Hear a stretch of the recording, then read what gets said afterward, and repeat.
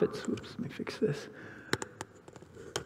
Continuing our study in the minor prophets um, and continue our study in Hosea. We began last week uh, with an overview, a brief introduction and overview to the book of Hosea, and, um, and then spent our time walking through the first three chapters, um, kind of digging into the, the, the texture of, those, of, of that part of the book. What I'd like to do tonight is do just a very brief uh, review of what we looked at uh, last week, and then get into the second section, which is chapters 4 through 14. And there we'll, we'll kind of look at that at um, a little bit more of a kind of jogging tour, so to speak. Zoom in on some sections and then just see some, some of the key elements. And then we'll step back and, and consider a few um, so what take home questions. Um, let's begin in prayer.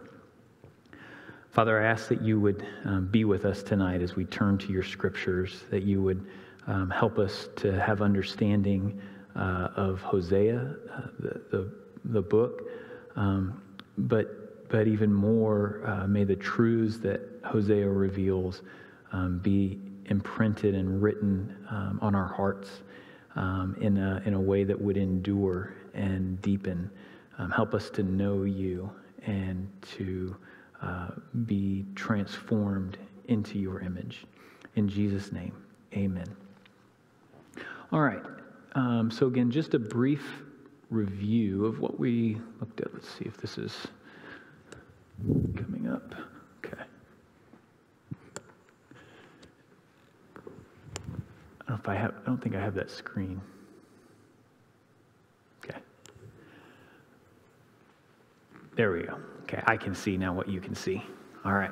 Um, so, just again, quick background sketch. Hosea uh, is, a, is a prophet of God that spoke to the northern kingdom of Israel and he did so in the final years leading up to the destruction of Samaria, the, the end of the northern kingdom of Israel as we know it, and their exile, uh, their scattering into Assyria. And a little over 100 years before the southern kingdom would go into exile, captivity in Babylon. Um, prophesied a little bit after Amos, prophesied around the same time that Isaiah and Micah is a prophet to the southern kingdom in Judah. Um, if you remember last week, we talked about the basic layout of Hosea. Again, it's helpful to get our bearings on the book, to see a little bit about the book's design, to see how, how it flows from subject to subject. It begins and ends with a single introductory and concluding verse. The introduction tells us a little bit about Hosea and when he prophesied.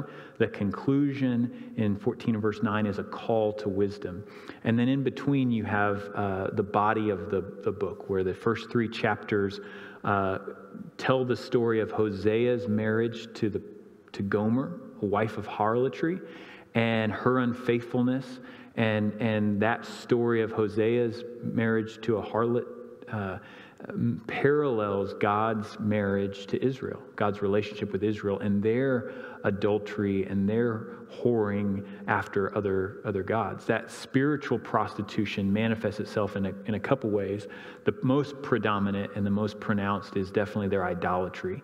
Um, Hosea will, will condemn the Baals, the Ashtoreth, the, the Canaanite gods that they would go after in their idolatrous practices and devotions and, and, and all that. Uh, another layer of that, though, is uh, we talked about this a little bit last week, but they're, they're unholy alliances with other nations. Um, and that's wrong on a couple levels. One is they're putting their trust in something that's not God. Two, it's an unholy mixing uh, uh, and a compromise that would take place through those alliances and those allegiances. And so you see that as just this, God describes it as adultery, as prostitution, as whoring. Um, and then that so that that really gets us into the book in chapters 1 through 3 and then 4 through 14 we we sort of step back and and just see various series of um, judgments which would be these accusations and then the sentence that god would pronounce. Okay? And so we we broke that down a little bit more and, and noticed a pattern from judgment to restoration judgment to restoration. And and where the predominant force of hosea is these indictments for sin, warnings of judgment, he weaves in these bright punctures of, of, of hope throughout the book. All right, so let's let's go ahead and, and dig in. So again, we looked at one through three last week. Let's pick up in chapter four and um, start working through that. So Hosea chapter four, um, beginning in verse one. I'm going to just grab a drink. Hosea chapter four, beginning in verse one. And I'll be reading from the New American Standard. It says, Listen to the word of Yahweh, O sons of Israel. For Yahweh has a case against the inhabitants of the land, because there is no faithfulness or kindness or knowledge of God in the land. There's swearing, deception, murder, stealing, and adultery. They employ violence so that bloodshed follows bloodshed. Therefore, the land mourns, and everyone who lives in it languishes, along with the beasts of the field, and the birds of the sky, and also the fish of the sea are removed. Okay. The opening verses of chapter 4 is this broad, overarching case that God is bringing against the people of Israel. Um, it serves as an introduction to this immediate section, but can also really stand as a heading for the whole second section of the book, right? This is God's basic case against the people. He'll develop it and use all sorts of different word pictures to describe the depths of their depravity and their corruption and their unfaithfulness. Um, but, but this more or less paints the picture for us. Notice it begins with a call to listen or hear. That's a powerful prophetic call Tyler talked about it in his sermon a couple weeks ago. Jesus would pick up that prophetic call when he would say, Listen, or hear. He who has ears, let him hear. Listen to the word of Yahweh, O sons of Israel, for Yahweh has a case against the inhabitants of the land. Later on, throughout this, he'll sig- single out the priests, he'll single out false prophets, he'll single out their leaders, um, and, and, and lay out his indictments against different groups of people but here it's the people in general, the, the inhabitants of the land. Notice the, the end of verse 1. What is the fundamental charge against them? What, is, what, what are they doing wrong? What have they got wrong?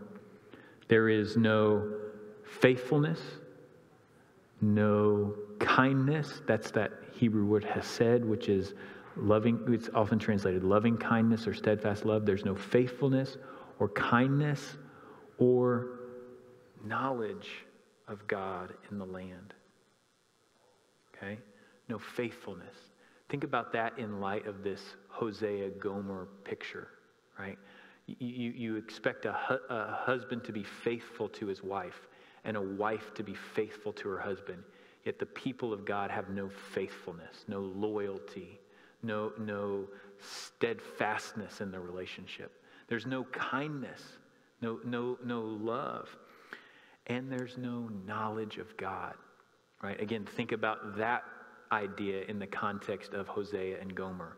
A husband knows his wife, and a wife knows her husband.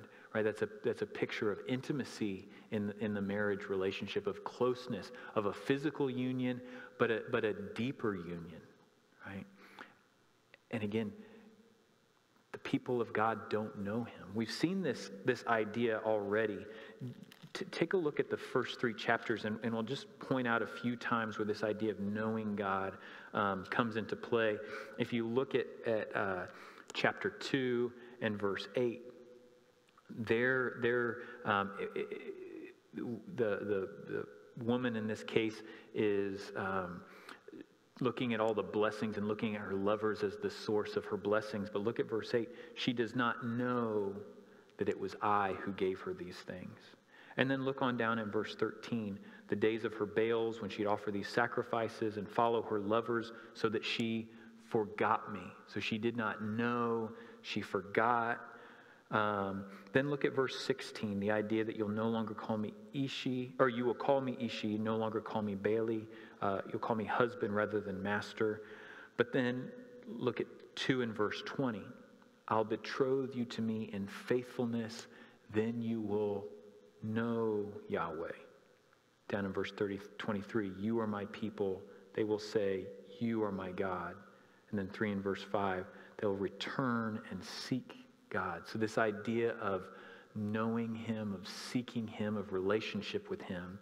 And so, God's fundamental case against His people no faithfulness, no kindness, and deep below all that is they just don't know God. Now, He'll itemize their specific crimes in verse 2 swearing. Um, that's like with the Ten Commandments you shall not bear false witness, right? Uh, or, or uh, the deception, um, uh, murder, stealing, adultery, violence.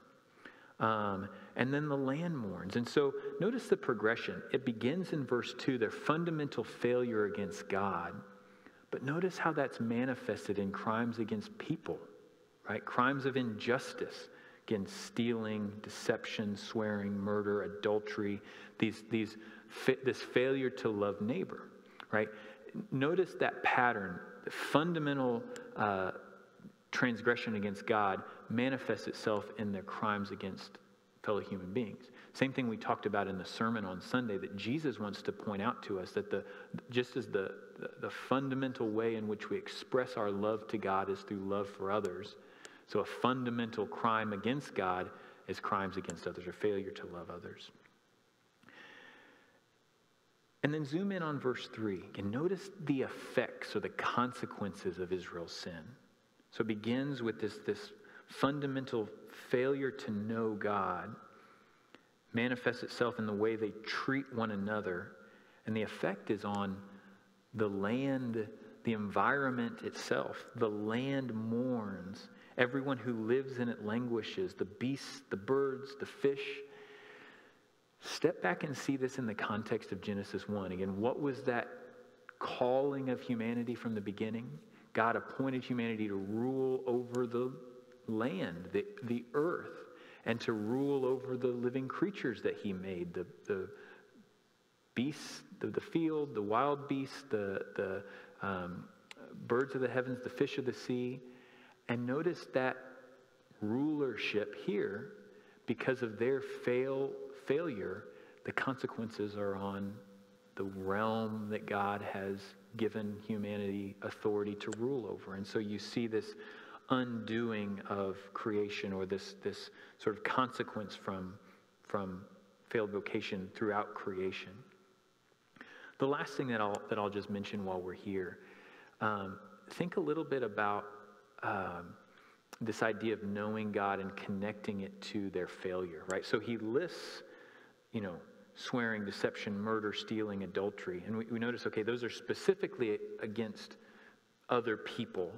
Um, but, but even think about sometimes how, how we can kind of talk about sin as just a, a violation of a command, all right? The command is this command is this, and sin is a failure of a command. Well, biblically, sin is more fundamentally a failure of vocation than it is a command, but it's even deeper than that here. Notice the sin is, is manifested in, in the fact that they don't know God. It's not just that they didn't know the rules, their failure to follow the rules, to obey the commands, to live a certain kind of life is a, is a revelation that they don't know God. Um, it's not just that this or so and so decided to go back to alcohol. It was that, man, they don't know God. It's not that this person decided to give themselves over to sexual desire and sensuality. It's that these people don't know God, right? And so see that as the fundamental case against the people. Well, in verse 4, we go from general to specific. So that's the case against the people as a whole. In verse 4, he begins to narrow in on the priests specifically. Yet let no one find fault. Let none offer reproof, for your people are like those who contend with the priests. So you will stumble by day, and the prophet also will stumble with you by night, and I will destroy your mother. My people are destroyed for lack of knowledge. Because you've rejected knowledge, I also will reject you from being my priests. Since you've forgotten the law of your God, I will also forget your children. The more they multiplied, the more they sinned against me. I'll change their glory into shame. They feed on the sin of my people and direct their desire toward their iniquity. It will be like people, like priests, so I'll punish them for their ways, repay them for their deeds. They will eat but not have enough. They will play the harlot but not increased, because they have stopped giving heed to Yahweh. So think about the role of the priest for just a minute. On one hand, we know the nation as a whole was called to be a, a royal priesthood among all the nations of the earth. What did that mean? One, that they were, they were to be the, the mediators between God and the other nations, right? On one hand, they would represent God to the nations, right? They would show the world and teach the world by their life and by their carrying out the law who God is, what He's about, what it is to love God, what it is to love neighbor, what it is to do true worship, what it is to do justice. So they would have that mediating, uh, representative role towards the other nations. And yet, on, on the other hand, they would, they would represent the nations to God. Well, that's priesthood at a broad sense. The, the, the priests of Israel had that same kind of mediating role for the whole nation.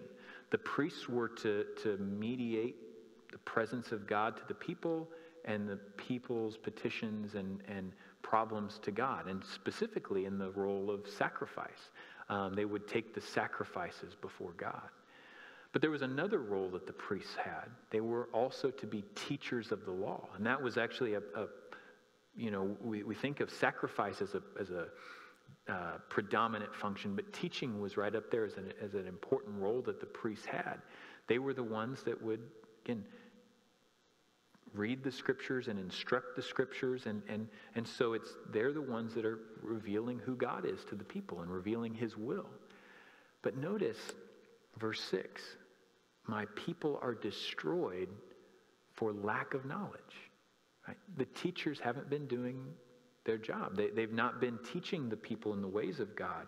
They, they've, eh, because the priests have rejected that knowledge. There's a, there's a intentional turning from truth, from scripture, from Torah, from God himself, and then a failure to impart that knowledge to the people. Notice God then says, I'll reject you from being my priest. You've forgotten the law. I'll forget you. I'll forget your children. Well, then in verse 11, harlotry, wine, new wine, take away the understanding. My people consult their wooden idol. Their diviner's wand informs them, for a spirit of harlotry has led them astray, and they've played the harlot from God, right? Notice that language of a spirit of harlotry. It's as if they're just captivated by this, this force, this desire that's leading them in unfaithfulness away from God. They offer sacrifices on the tops of the mountains, burn incense on the hills, under oak, poplar, terebinth, because their shade is pleasant. Therefore, your daughters play the harlot, your brides commit adultery. But look at the end of verse 14. So the people without understanding are ruined. Notice how it keeps coming back to that fundamental point. It's, it's more than just this single wrong act or this single wrong act or this violation of a command. Again, it's that deeper failure to understand and to know God's will and to know God Himself.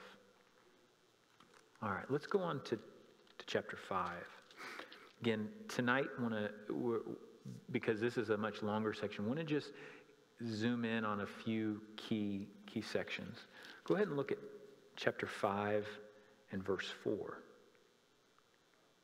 It says, Their deeds will not allow them to return to God for a spirit of harlotry is within them, and they do not know Yahweh. Moreover, the pride of Israel testifies against him, and Israel and Ephraim stumble in their iniquity. Judah has also stumbled with them.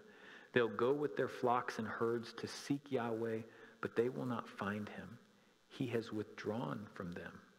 They've dealt treacherously against Yahweh. They've borne illegitimate children. Now the new moon will devour them with their land. Notice verse 4. That's a dark and oblique state to find yourself in. Their deeds will not allow them to return to God. Right? They've become so, this, this sinful behavior, this way of life has become so ingrained, so um, ingrained in their own, and, and, and habituated, right? That it's preventing them from turning Why? Notice again that same picture we saw back in chapter, uh, chapter 4 that spirit of harlotry is within them.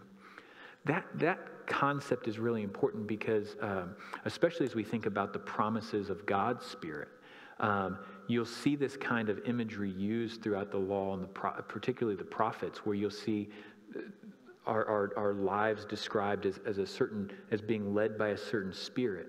Here it's a spirit of harlotry that's leading the people. God wants his own spirit to dwell within us. That's sort of changing the subject from Hosea a minute, but just maybe flag that in your mind for, for your own studies through the Holy Spirit. Um, but again, their deeds will not allow them to return to God. The spirit of harlotry is within them, and they do not know. They do not know Yahweh. You see pride in verse 5. Look at this in verse 6. Can you picture this scene? They will go with their flocks and their herds to seek Yahweh but they'll not find him because he's withdrawn with them. So the, the scene is they're still going to their sacred spaces for sacrifices, thinking, okay, we're going to seek God. They're living this corrupt life as, is, as we saw in chapter 4, right, with the swearing and the deception and the um, violence and murder and adultery and stealing and all this, this injustice that's just so pervasive. Yet, notice what they're doing. They're still sacrificing thinking they can just appease God, that they can, you know, that that's what's required uh, to ensure his favor. But notice, they will not find him. Right? You come to God bringing your sacrifices, bringing your religious service, um, that the, the religious forms, the, those sort of rituals, and yet you won't find him. Why? He has withdrawn. Again, that's a dark and scary and bleak picture to think that God has withdrawn. Because throughout Scripture, what we constantly see is God leaning in, God reaching out, God giving us his, his, his arm, his hand, and, and asking us to take it and to, to be folded within him. And yet, enough's enough. He has withdrawn from them. Let's keep reading. Verse 8 blow the horn in Gibeah, the trumpet in Ramah, sound an alarm at Beth Aven. Behind you, Benjamin, it's a call to battle there. And note, Beth Aven means house of sin, sort of a, a, a, a twisting and a play on Bethel, house of house, what should be house of God. If you remember from our, you know, your studies in Kings, um, where they would set up one of the uh, golden calves, at one in Dan, one at Bethel. Here he's calling it house of, house of sin. Anyway, get ready for this battle. Ephraim, Ephraim will become a desolation in the day of rebuke. Remember, Ephraim was one of the, uh, the larger tribes there in, uh, in the northern kingdom uh, where Samaria, the capital city, was located. Ephraim will become a desolation in the day of rebuke. Among the tribes of Israel, I declare what is sure. The princes of Judah have become like those who move a boundary marker. On them I'll pour out my wrath like water. Again, that's a scary scene. I think about Isaiah 32, where God's looking ahead to the day when He'll pour out His Spirit like water and pour out His blessings. Here it's His wrath that He's pouring out on His people. And so, verse 11 Ephraim is oppressed, crushed in judgment, because he was determined to follow man's command. Therefore, I'm like a moth to Ephraim and like rottenness to the house of Judah. Um, one of the things that, that's often pointed out in a Hosea study is the various metaphors that Hosea uses to describe God. The, the most predominant being that of the husband, like we saw in the, the parallel with Hosea and Gomer. Uh, other times it's a father and a son. Um, chapter 5, uh, there, there's a couple interesting uh, minor, uh, minor metaphors, but they're, they're, they give a powerful imagery. You know, thinking about God like moth, like rottenness. There is, is, is a picture of him in judgment, but in the same destruct, but, but in, in destruction. Notice this in verse 13, though. When Ephraim saw his sickness and Judah his wound, then Ephraim went to Assyria and sent to King Jareb. What's he describing in that verse? This is a picture of that sort of unholy political alliance, right? So he saw his wound. In other words, he saw his problem, which in the previous verses described as some judgment against by from God. And so his response to it was, let's go to another nation for help, right? Um, let's, let's run to, to Assyria. But he is unable to heal you or cure you of your wound. Some problems are deeper and no, uh, in their case, military political alliance would solve it. Things that we may run to, um, like our retirement funds or other things that we want to put our trust to, those won't fix our problems, right? Look at verse 14. I will be like a lion to Ephraim, like a young lion to the house of Judah. I, even I, will tear to pieces and go away. I will carry away, and there'll be none to deliver. So, in the previous verse, God was described as moth and rottenness. Now, the metaphor of him as a lion attacking and devouring his prey. So, it's a pretty intense scene uh, of God's judgment. But even scarier than the, that, verse 15 is his complete withdrawal. I will go away and return to my place until, so there's this glimmer of hope until they acknowledge their guilt and seek my face. In their affliction, they will earnestly seek me. Right? So it ends with just this. Well, first, the, the, the statement that God is leaving, and, and there's the terror of his withdrawal. Right? The source of life and blessing and love and goodness in your midst, now withdrawing. That's hell right? I will go away and I will return to my place until. And so he looks ahead to the day when they'll return, when, they'll, when his people will turn to him, acknowledge their sin, seek his face, earnestly seek him. And we get a glimpse of that in chapter 6. Look at the first three verses. Come, let us return to Yahweh, for he's torn, but he will heal. He is wounded, but he will bandage. Notice again, Assyria, false gods, whatever we want to put our trust in, that can't do it. He will heal. He will bandage us. He will revive us after two days. He will raise us up on the third day that we may live before him. So let us know, let us press on to know Yahweh. His going forth is as certain as the dawn. He'll come to us like the rain, like the spring rain watering the earth two calls in this, in this verse surrounding a promise. The first, come, let us return to Yahweh. Verse 3, let us know, let us press on to know.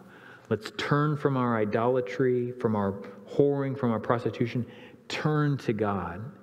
And when He does, what, what will He do? You see this work of revival, of restoration, of healing. Some of that language may have jumped off the page. You listen to the beginning of verse 2 again. He will revive us after two days. He will raise us up on the third day. That's strong resurrection language. Now, again, we've talked a little bit about in our, in our Revelation study the, the way biblical prophecy works. This is not just a specific pre, uh, prediction of Jesus' resurrection this, this was more of that pattern of fulfillment, right? Where here, in the immediate context, Hosea is clearly talking about a restoration of Israel and a restoration of God's people um, using resurrection language. And then Jesus would come along to bring the restoration of Israel and God's people by literally raising from the dead, right? And so you see how that would work in sort of a pattern type way. So, this, this promise of revival, of resurrection, of healing. So, let's know him, right? If we return to him, we'll have this refreshing. So, let's press on to know him, to know God. Well, then you get this just brief, beautiful description of the God that we are seeking to know. His going forth is as certain as the dawn. If there is one thing you can count on, I mean, as far as this world is concerned is the sun will rise in the morning, right? The dawn will come. We count on as long as heaven and earth remain, there will be a sunrise. His going forth is that certain. He is that dependable. You can trust him. You can count on him. You can you, you depend on him with everything you've got. He will come to us like the rain. Okay, so moving on from his faithfulness and his dependability to his beneficial, his goodness, his effect. He will come to us like the rain, like the spring rain watering the earth, right? Again, think about um, even this past year, right, with all the gloom of March and early April, with the quarantine and, and just being in a box and it being so gray outside, yet, do you remember those just those rain showers that would come and then the sun would come out and the grass was green and the flowers would bloom and the birds would sing, right? That's the nourishment that comes from that spring rain. That is God. That's the God that we are seeking. That's the God that we seek to know. Well, the scene shifts. The oracle turns again in verse 4. What shall I do with you, O Ephraim? What shall I do with you, O Judah? For your loyalty is like a morning cloud, like the dew which goes away early. We saw a glimpse of repentance in those early verses, and I think probably one through three is probably the way Hosea looks ahead to future days. That's probably what that was. At least the people of Hosea's day are fickle. They'll bring their sacrifices, but it's not real repentance. He says it's like the dew. You know, it's there, you wake up in the morning and, and you walk out and the grass is really wet, but before long it's dried up and the grass is dry, right? It's that short lived, unreliable thing. Well, that's their repentance. Therefore, I've hewn them in pieces by the prophets. I've slain them by the words of my mouth. And the judgments on you are like the light that goes forth. Why is God responding in judgment? Here's why. For I delight in loyalty rather than sacrifice, and in the knowledge of God rather than burnt offerings. Here's a, here's a theme that runs all throughout the prophets. This, this what God really wants, right? Now, did he command sacrifice? Yes, of course. You can go back to Leviticus and, and places in Numbers and you see instructions for certain kinds of sacrifices. Um, but is that the, the, the substance of God's will? Is that what it means to serve God, is just come to church and give your sacrifices? No, not, not at all. Um, see this in, in, the, in its ancient context. Um, if, you, if you go back and look at different ancient Near Eastern creation myths, um, one of the more famous and probably accessible ones is what's called the Epic of Gilgamesh. And, and you'll read about this creation myth, and, and, and basically tells the stories of the warring gods fighting and, and how creation is sort of the byproduct of that war. But then it talks about the creation of humanity, and there the humans were created as slaves for the gods, basically to give, to feed the gods through sacrifice, right? So, so humanity is simply divine, you know, slaves for gods just to feed the gods through sacrifices. And that says a lot about how ancient people viewed their relationship with the gods, right?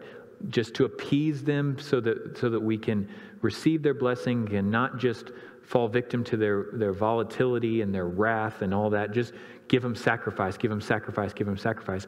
And it seems like Israel was buying into that way of approaching God, right? Through ritual, through sacrifice, through, through you know, we would say, like today, well, you know, as long as I go to church and just do a few of these things right, that's all that God cares about. No, no. That, that's, that's a pagan view of God. How does, how does the creation story begin? God, as a great king, created humanity in his image, appointed them to rule. Right? So you see humanity created with relate, for relationship with God, that they would live in fellowship with God, and vocation, that they would rule on his behalf. And that's what he's getting here. I, I, desire loyalty, not like the dew, not like the rain cloud that just vanishes, but loyalty, faithfulness. I want you to stick with me, not sacrifice. The knowledge of God rather than burn offerings. I want, I want you to be faithful to me. I want you to know me. And again, think about how that's rooted in the opening indictment in chapter 4. There was no faithfulness, no kindness, no knowledge of God. What God wants is loyalty and the knowledge of Him. All right, let's go ahead and, and jump ahead. So, so uh, pick up this pattern, right? Indictment, warning of judgment, glimpse of hope, right? And you see that here. We're back into an indictment section. I want to jump ahead to chapter 11 and, and, and see where we're going to find one of the larger glimpses of hope in Hosea. Let's pick up in chapter 11 and verse 1. When Israel was a youth, I loved him, and out of Egypt I called my son. Let, let me say a, a, a word here for just a second. So, what God's doing now is he's, he's stepping back and He's looking at His people over the course of their history. And one of the things, uh, let me say this a little bit about biblical uh, reading and interpretation, especially in the prophets, because we, we live in a very individualistic culture uh, rather than a sort of, uh, uh, you know, like other cultures that are shame, honor, and that are sort of known for their collective identity. Um, the Bible, a lot of times, deals with people through that sort of collective identity. And so we read some of these things and think about every little individual, but, but really, he's looking at his people as a whole. And he can talk about Israel, past, present, and future, as a single people, right?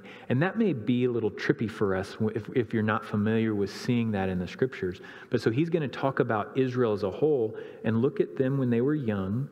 Well, that's the first generation coming out of Egypt and look at where they've gone wrong. Well, that's them throughout their history. But then he'll look ahead and see a turn. Well, it's going to be different people, but one overall people group. Okay? You're not in my presence. I can't see your body language to know if you've got a scrunch on your face to see if it doesn't make sense or to see heads nodding like, okay, that's clear, that makes sense. Um, hopefully that's, that's clear. The, the, the idea that, again, God's not just looking at the people of Israel as every single individual, but looking at the people in a collective sense, and He'll look at them past, present, and future. So that's, that's a pretty important interpretive key to be able to read the scriptures. All right, so let's, let's see that again. So when Israel was a youth, I loved him, and out of Egypt I called my son. The more they called them, the more they went from them. They kept sacrificing to the Baals and burning incense to idols. Yet it was I who taught Ephraim to walk. I took them in my arms, but they didn't know that I healed them. I led them with cords of a man, with bonds of love, and I came to them as one who lifts the yoke from their jaws, and I bent down and fed them. They will not return to the land of Egypt, but Assyria. He will be their king because they refuse to return. The sword will whirl against their cities and will demolish their gate bars and consume because of their counsels. So my people are bent on turning from me. Though they call, call them to the one on high, none at all exalts them. So you see this picture here now the metaphor is shifted from God as the loving Hosea husband to God as a father. He looks at his, his, his son calling him out of Egypt, right? When they were just a child, come, come out of Egypt. And he's there and he's working with them and he's, he's teaching them to walk. But rather than loving their father and serving their father and growing up to know their father, they're, they're given over to idolatry, right? And, and, and think about, I mean, it was so early in the story of Israel not just the complaining, but the idolatry with the golden calf. And then how many times throughout their history they come into the land and, and what do we see? This, this downward vicious cycle that's going on in, in Judges, right? Going after the idols, going after the idols over and over and over again. And the same thing's happening um, throughout this period of the divided kingdom. But, and so then in five through seven, what's God saying? Exile. You're not going to go back to Egypt. You're actually going to Assyria. And so he talks about this exile that would take place. Then look at verse 8. This is remarkable. So after this looking at, at them in their youth, seeing where they went wrong and the, the consequences that, that will result with exile. Then he steps back and says, How can I give you up? Right? In the same way that, that you know, we may have a child who just wrongs us and takes advantage of us and does nothing but evil. Um, there would always be that, that part of us that is just so ready to love and to take back and to welcome back, just like the prodigal, the, the father and the prodigal son, right? That's exactly what we see happening with God here.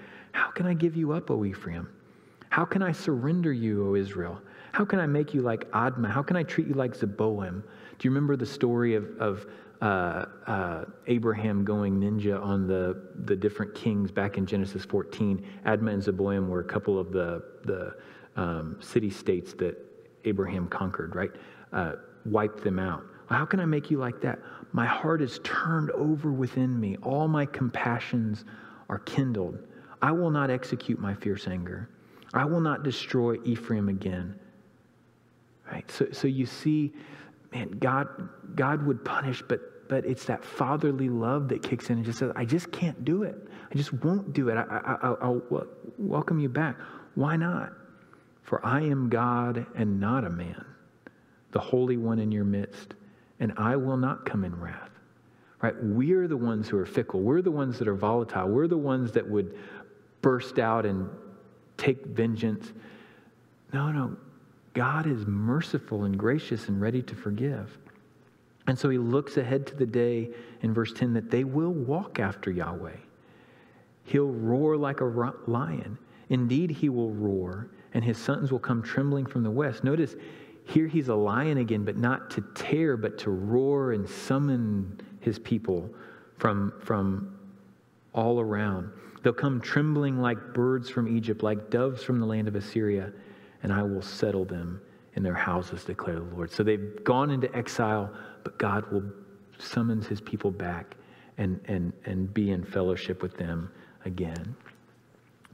All right, so, so hopefully that gives us a sense of what's going on in this uh, section of Hosea, right? You, you see these very strong indictments. Fundamental failure is, is, is simply they do not know God, and that manifests itself in all kinds of idolatry, literal idolatry with other gods, allegiances with other nations, and then all sorts of injustice.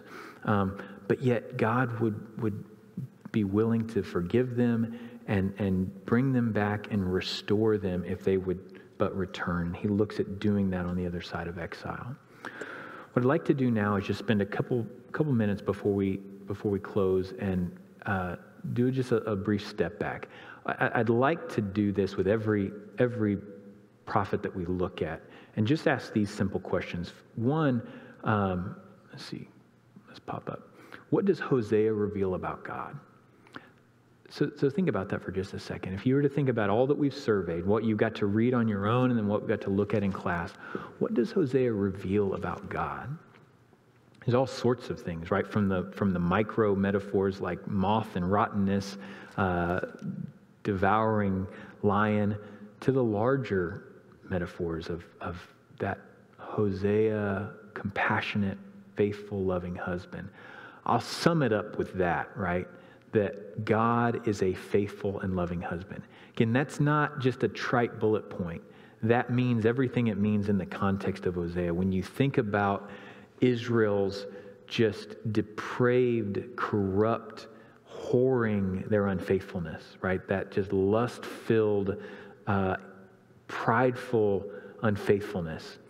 When you think about that, that over against God's willingness to woo them back and to welcome them back and to continue to shower gifts and bring them to Him, right?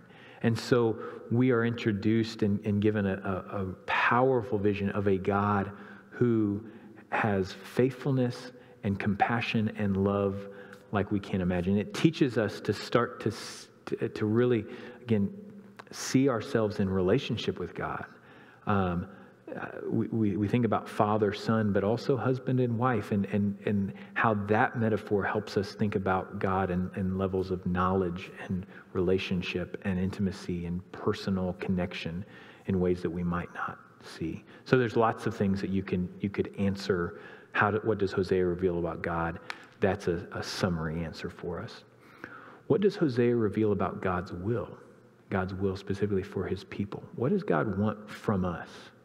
If you think about humanity that he's created in his image, the people that he, Israel, he bought out of Egyptian slavery and entered into covenant with, us, the people that God bought out of slavery to sin and death and Satan and brought us into covenant with him. What, is his, what, what does Hosea reveal about God's will? Again, there's lots of things that we could answer there. Just a simple summary would be God wants us to know him, right? That, that's one of the key themes in Hosea, this idea of knowing God and God's desire that we know him. Again, just to reiterate this thing that we're seeing in Hosea, it's not about checking boxes. It's not just about keeping commands. Um, it's not even about doing this or doing that. It's fundamentally about a relationship with God. It's about knowing Him. And when I know Him, then I'll live a certain way, right? And a failure to live a certain way is a, re- is a revelation that I don't know God, right? And so, what is God, what does Hosea reveal about God, God's will? That deep down, what he wants most is that his people know him. And what does Hosea reveal about God's purpose? And, and by purpose, what, what I mean is when you look at what God is doing in the big picture of the world, right? We can think about his purpose in creation, his purpose in calling Israel, his purpose leading us to eternity. What, what, is, what does Hosea reveal about God's purpose? We won't take the time to unpack all these, but, but to answer this question, we'd really key in on all these like big picture promise statements, right? Um, and again, you can you can um, point out all sorts of little details here, and I and I would encourage you to do this. You know, um, write down these questions and spend some time reading Hosea through these lenses. And and and and I'm giving only summary answers. I would encourage you, you fill, fill out this list a little bit more. But at a, at a summary level, when we look at all of those um, seven promise sections. I left one out. 10, 12 should be up there too. When you look at all these uh, promise sections, what you see is God's people will know him, right? Maybe not Hosea's generation in Israel, but someday beyond exile, the people of God will know him, right? Um, when you say it like that, you think, is that too much to ask for? Right? That, that the people who are created by the Creator would like their God? and want to serve Him and want to know Him and want to be in relationship with Him. And yet, that's so far from the experience, the reality of human history. And, and yet, God keeps holding out. God keeps reaching out. God keeps working to woo people to Himself that we could know Him. And again, not just know facts about Him, but know Him personally, relationally, intimately, experientially, right? Well, again, that's, that's our um, overview of Hosea. Hopefully, that's, that's um, again, not, not getting into every detail of the book by any means, but hopefully giving, getting you your bearings with Hosea, helping you begin to cultivate a love for the book. Uh, be less intimidated just to open it up and read it and sort of chew on it, give you some bearings to do that. So hopefully it's been helpful and equipping in that way. Um, let's go ahead and, and um, let's, let's go to God in prayer. Father, thank you for um, your amazing love for us. We marvel at your faithfulness and your patience, um, how, how you you put up with our weaknesses and uh, failures. Um, uh, we're just so thankful for your patience and your compassion, your willingness to forgive, your, your persistent willingness to forgive. And thank you for your love, for, for just for loving us so passionately, so uh, intensely. Um, we are in, in awe of you. Thank you for Hosea and what Hosea reveals about you and about a relationship with you. Um, help us never to be mechanical or ritualistic or rote in our in our service of you. Help us never to become pagan, thinking we can just throw church services at you or um, singing or Lord's Suppers or any of those things that have have value and and and that can be formative and and ways in which we can experience you. But help us to never reduce those to just that, that, that sort of pagan idea that we just satisfy you through those rituals.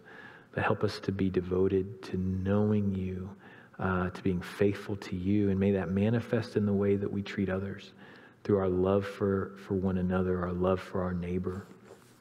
Help us all, Lord, to grow in our knowledge of you, to grow in our love for you, and grow from our love for, for, for others, that, that you would receive the honor and the glory um, that you deserve because you are so worthy. We love you and we praise you in the name of Jesus. Amen.